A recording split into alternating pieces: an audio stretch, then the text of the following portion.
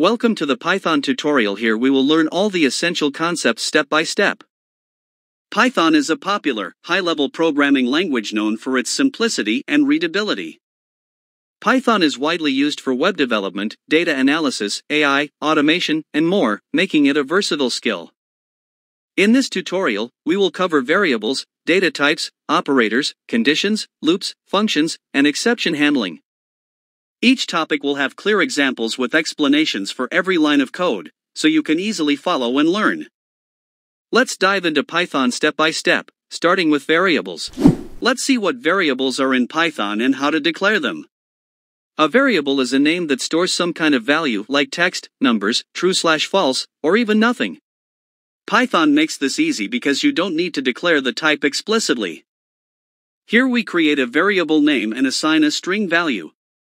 Strings are used for text and always written inside quotes. Age stores an integer value.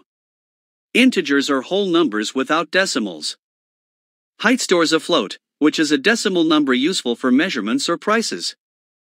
Is underscore student stores a boolean value, true or false, often used in decision making. None represents the absence of a value. It's often used as a placeholder before assigning an actual value. Python allows multiple assignments in one line. Here x gets 1, y gets 2, and z gets 3 multiple variables assigned at once. You can assign the same value to multiple variables at once. All three variables get 10. Python is dynamically typed. You can change the type of a variable anytime. First var is an integer, then it becomes a string. Python doesn't enforce constants, but you can create variables that you intend not to change. By convention, variables in uppercase like pi are treated as constants, but Python allows changing them if needed. Swapping variables is simple in Python. Here a and b swap their values in a single line without needing a temporary variable. Let's see what data types are in Python. A data type tells Python what kind of value you are storing, whether it's text, numbers, true slash false, or collections. Python automatically detects the type, so you just assign the value. This is a string. Strings are used for text and always written inside single or double quotes. This is an integer. Integers represent whole numbers without decimals, like ages, counts, or quantities. This is a float. Floats are numbers with decimals used for measurements, prices, and mathematical calculations requiring precision. This is a Boolean.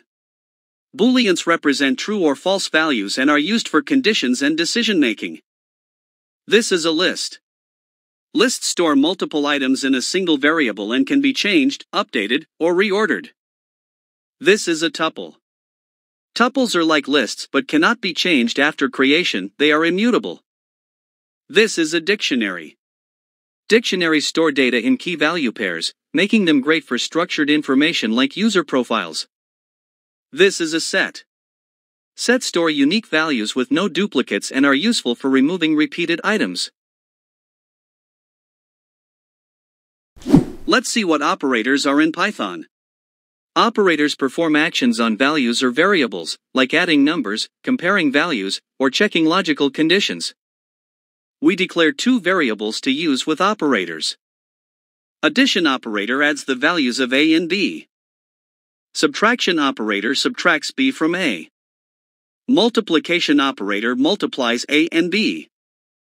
Division operator divides a by b and returns a decimal number. Floor division operator divides a by b and returns only the whole number part of the result. Modulus operator returns the remainder when it is divided by b. Exponentiation operator raises a to the power of b. Greater than comparison operator checks if A is greater than B. Equal to comparison operator checks if A is equal to B. Not equal to comparison operator checks if A is not equal to B. Logical and operator returns true only if both conditions are true. Logical or operator returns true if at least one condition is true. Logical not operator reverses the result of a condition. Let's see how conditions work in Python.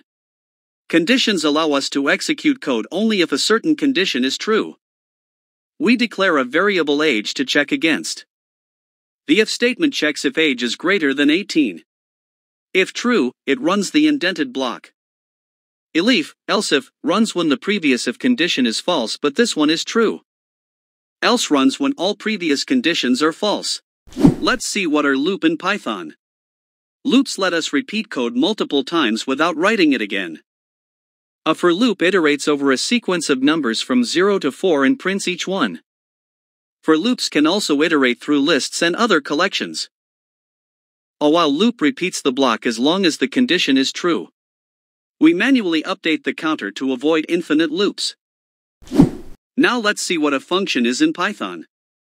Functions let us group code into reusable blocks that can be called whenever needed. We define a simple function named greet that prints a message. We call the greet function to execute the code inside it. Here we define a function with parameters a and b, which returns their sum. We call the add function with arguments 5 and 3, and print the return value. Next is try and except in Python. Try and except blocks let us handle errors gracefully, preventing crashes when something goes wrong. Start a try block to run code that might cause an error. Convert user input to an integer, this may fail if the input is not a number. If the conversion succeeds, print the entered number. Catch a value error, which occurs if the user input cannot be converted to an integer. Print a friendly message to notify the user of invalid input. Start another try block for code that might raise a different error.